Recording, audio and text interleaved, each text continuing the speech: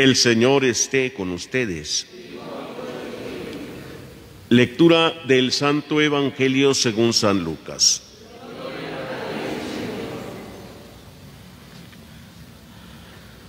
Por aquellos días Jesús se retiró al monte a orar y se pasó la noche en oración. Cuando se hizo de día llamó a sus discípulos, eligió a doce de entre ellos y les dio el nombre de apóstoles. Eran Simón, a quien llamó Pedro, y a su hermano Andrés, Santiago y Juan, Felipe y Bartolomé, Mateo y Tomás, Santiago el hijo de Alfeo, y Simón llamado el fanático, Judas el hijo de Santiago, y Judas Iscariote que fue el traidor. Al bajar del monte con sus discípulos y sus apóstoles, se detuvo en un llano. Ahí se encontraba mucha gente que había venido tanto de Judea y Jerusalén como de la costa de Tiro y de Sidón. Habían venido a oírlo y a que los curara de sus enfermedades, y los que eran atormentados por espíritus inmundos quedaban curados. Toda la gente procuraba tocarlo porque salía de él una fuerza que sanaba a todos. Palabra del Señor. Pueden sentarse un momentito.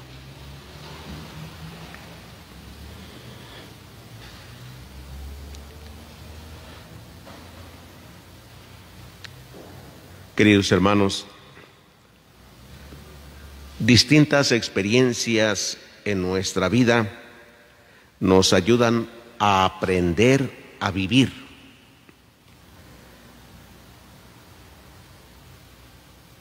¿Alguna vez hemos escuchado aquella expresión que dice, me salió el tiro por la culata? ¿ah? O sea, ¿Saben lo que significa eso? Un rifle y lo que sale para atrás. ¿ah? Y cuando decimos eso, ¿a qué nos referimos? Que lo que yo decidí hacer no me salió. ¿Sí? Y tanto que lo pensé cómo hacerlo y no me salió. Es más, hay quienes han orado, orado, hecho oración antes de tomar una decisión.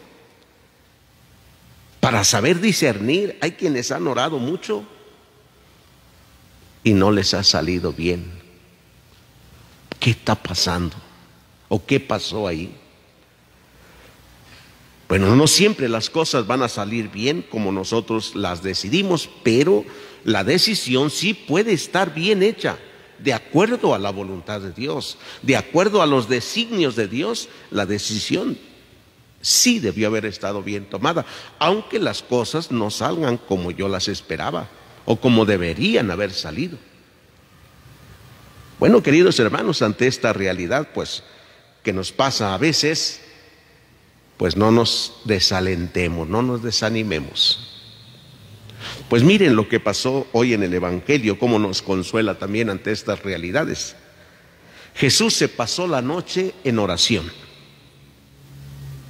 Después de que oró toda la noche, en el día, vino en pleno día, significa que hay luz, que se ve bien, que se conoce bien.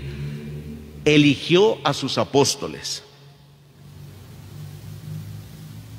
Eh, eh, si quisiéramos ver estos dos términos del Evangelio, que es la noche y el día, diríamos en la noche cuando no se puede hacer, no se pueden hacer muchas cosas, cuando no se entiende, cuando no se comprende bien, eh, se ora, se pide a Dios.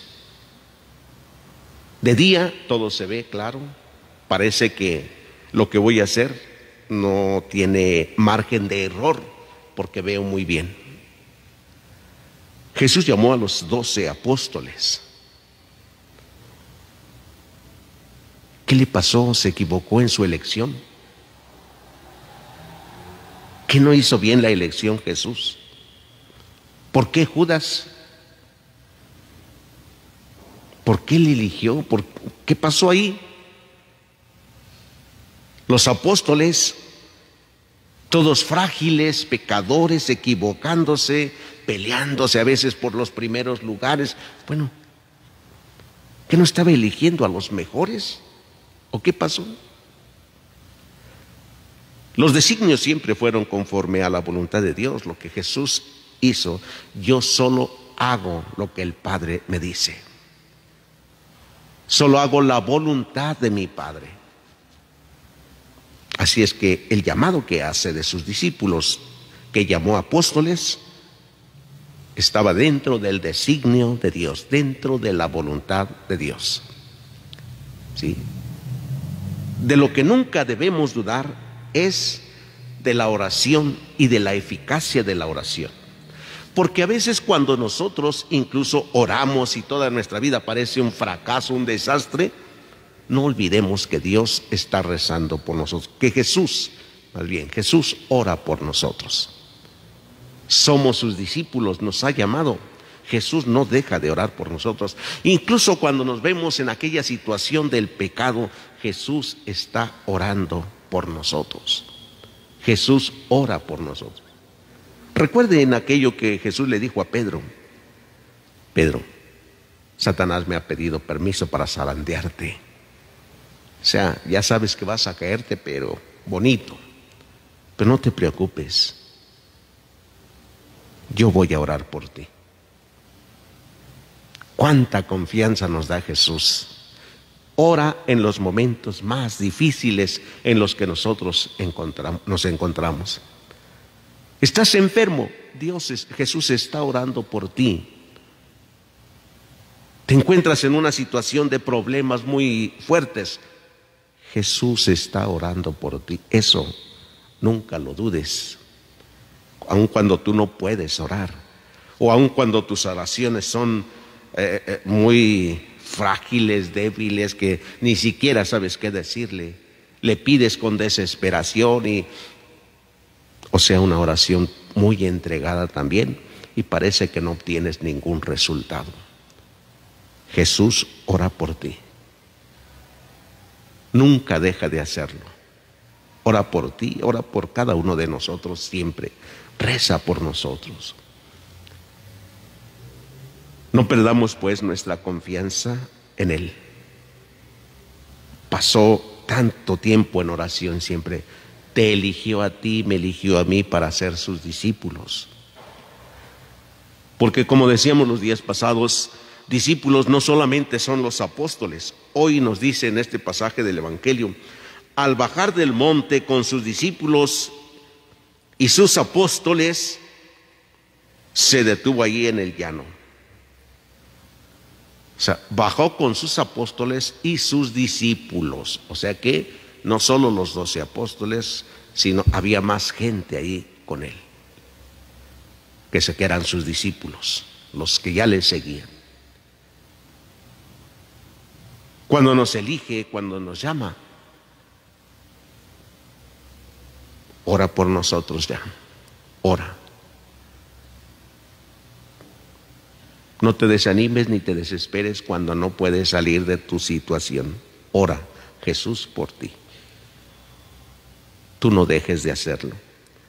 Tus decisiones que tengas que tomarlas siempre busca que, estén, que sean de acuerdo a los designios de Dios.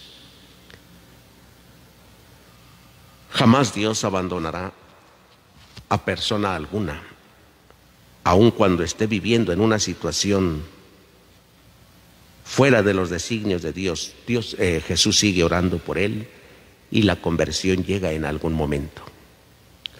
Por ejemplo, vemos hoy en la primera lectura de la carta del apóstol San Pablo.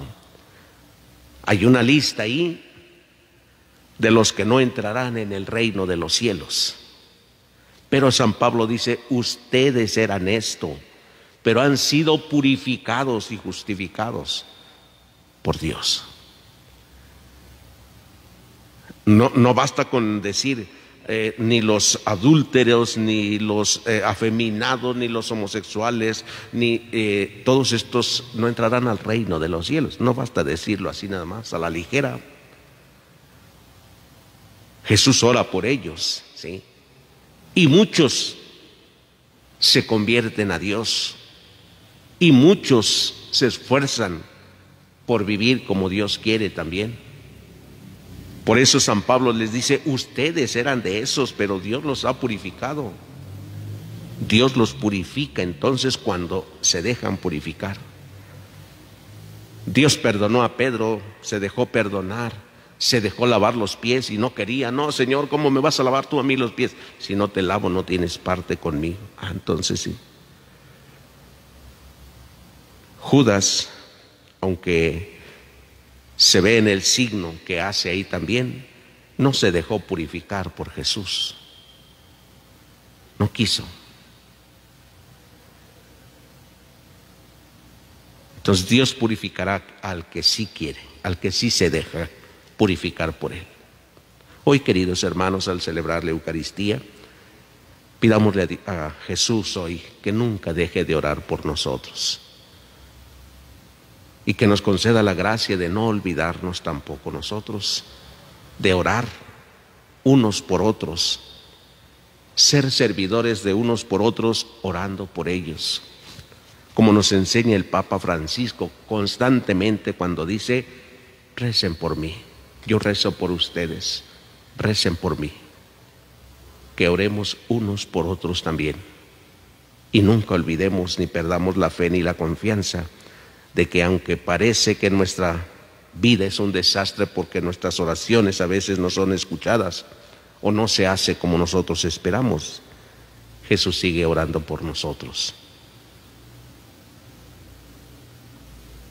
Pidámoselo todos hoy en esta celebración, que así sea.